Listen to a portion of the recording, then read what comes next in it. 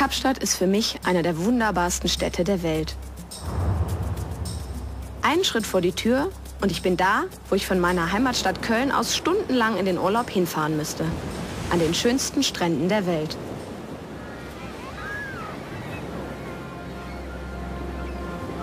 Seit Südafrika zu meiner zweiten Heimat geworden ist, bin ich mit Haien konfrontiert. Viele Südafrikaner haben panische Angst vor ihnen. Die Strände sind nur voll, wenn kein Haialarm ist und deshalb die grüne Flagge weht.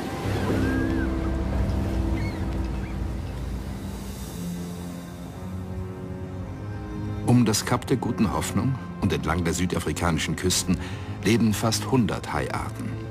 Vor allem der weiße Hai mit seinen fast sechs Meter Länge verbreitet Angst und Schrecken. Zu Unrecht. Es sterben zehnmal mehr Menschen durch Blitzschlag als durch Haie. Schuld an ihrer Dämonisierung Steven Spielbergs Film Der weiße Hai.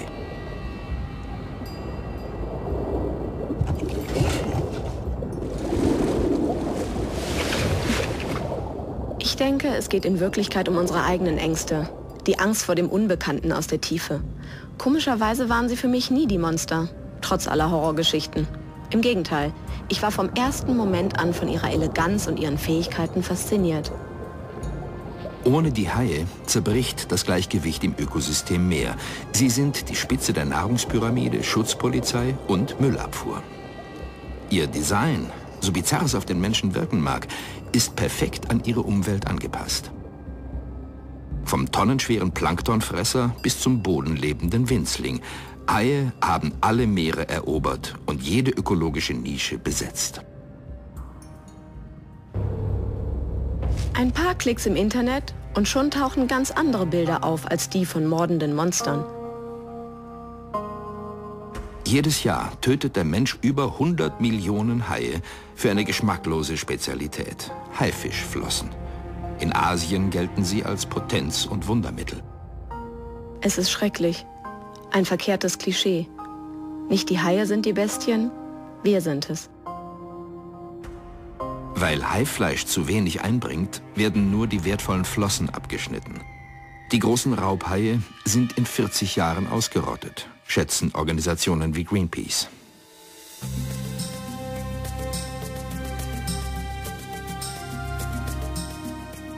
Noch leben rund um Kapstadt viele Haie.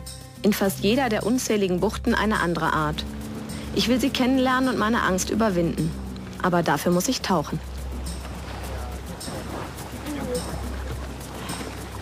Das ist wie beim Führerschein. Tauchtheorie geht ruckzuck, aber Praxis ist was anderes.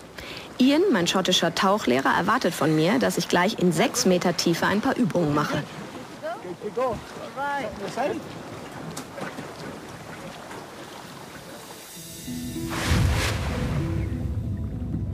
Mit fingerartigen Haftkrallen klammert sich Kelp rund um das Kap der Guten Hoffnung in die Felsen.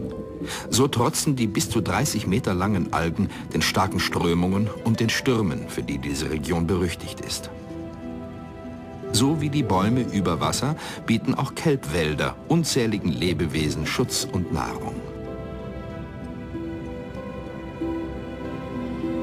Auch der breitnasen Siebenkiemerhai verlässt den schützenden Kelbwald nur ungern. Genau wie der am Boden lebende Katzenhai. Das Wasser ist eisig, 11 Grad. Selbst durch das Neopren kriecht die Kälte. Aber hier unten, in der Schwerelosigkeit, bei diesem Licht, vergisst man einfach alles. Was will der Ian? Ach ja, den Atemregler tauschen.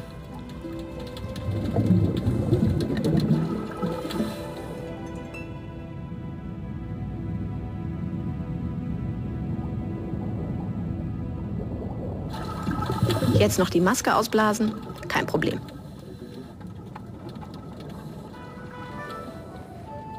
Ian hatte ja schon eine Überraschung für mich angekündigt. Jetzt weiß ich, was er gemeint hat. Keine Haie, Seelöwen. Das sind echte Clowns, richtig neugierig.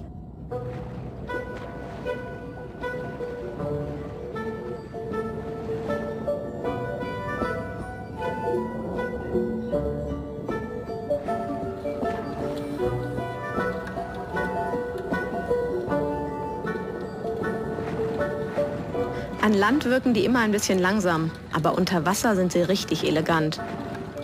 Das nenne ich doch mal einen ersten Tauchgang.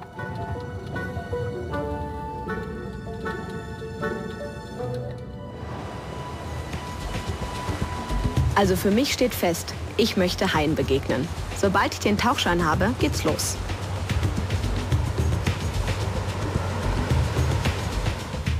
Südafrikanische Seelöwen sind sehr gesellig. Manchmal drängen sich Tausende von Tieren auf vorgelagerten Inseln und Felsen. Ende des 19. Jahrhunderts war die Art durch Pelztierjäger fast ausgerottet. Inzwischen haben sich die Bestände wieder erholt. Ein Jahr werden die Jungtiere gesäugt. Doch immer wieder verlassen die Mütter den Nachwuchs und verschwinden oft tagelang für die Futtersuche im Meer, zusammen mit den entwöhnten Jungtieren vom letzten Jahr. Das ist der Grund, warum die weißen Haie vor den Kolonien auftauchen. Die Seelöwen wissen um die Gefahr. Sie ziehen in Gruppen los. Die Masse soll den Hai irritieren.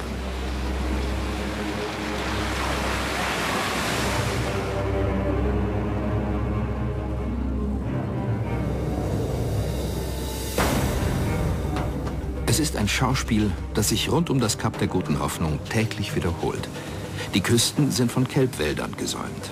Im flachen Wasser der Unterwasserwälder sind die Seelöwen sicher. Doch für ihr Futter, Fische, Krebse und Tintenfische, müssen die Seelöwen ins offene Meer hinaus. Im tieferen Wasser ist der weiße Hai im Vorteil. Seine Angriffe kommen von unten. Genau dann, wenn die Robben zum Atmen an die Oberfläche kommen.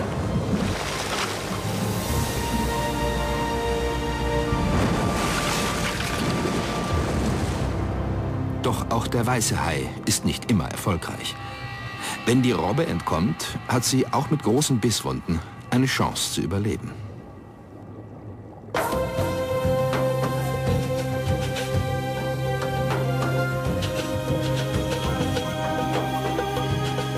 Wer gerade tauchen lernt, kann noch lange nicht mit Haien tauchen. Aber mitten in Kapstadt gibt es einen Ort, wo ich üben kann. Das Aquarium ist einfach super. Die Leute hier tun alles, dass der Hai wieder ein positives Image bekommt und die Menschen ihre Angst vor dem Tier verlieren. Ich habe an den Becken und in den Tunneln schon viel Zeit verbracht. Man ist den Tieren so nah, spürt ihre Eleganz und ihre Kraft. Und mein Tauchlehrer Ian organisiert in den Becken auch Haitauchgänge. Die Haie interessieren sich gar nicht für dich. Das sagst du, hm? Zuerst die Füße rein, dann weiß ich, es ist sicher und komme nach. Ah, ja. Streck nie die Hände nach ihnen aus. Das könnten sie als ein Futterangebot missverstehen. Lass die Arme einfach am Körper. Okay, dann mach ich so.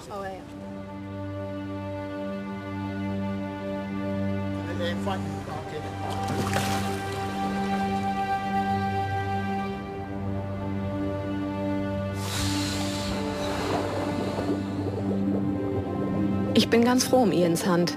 Er hat gesagt, ich soll versuchen, ganz ruhig zu atmen. Haie haben sehr sensible Sinnesorgane. Sie spüren sogar meinen Herzschlag. So wissen sie, ob ihre Beute alt, krank oder geschwächt ist.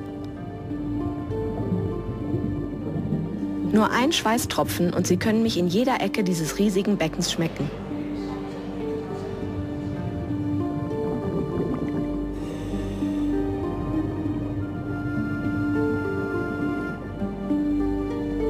Was hat Ian denn da? Wow, ein Haizahn.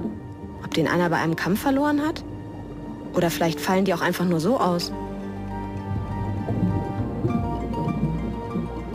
Die Sandtigerhaie sind die größten Tiere im Becken. Manche von ihnen sind drei Meter lang. Wunderschön, wie sie so majestätisch durchs Wasser gleiten. Es ist einfach beeindruckend, neben ihnen zu schwimmen. Also, Sie verlieren die ganze Zeit Zähne, ja? Ja, sie werden ständig ausgetauscht. Es ist das perfekte Gebiss. Eine erste, ein erstes Erinnerungsstück. Gleich recht am Anfang schon einen, einen Heilzahn gefunden. Nehme ich mit. Darf ich auch, habe ich schon gefragt.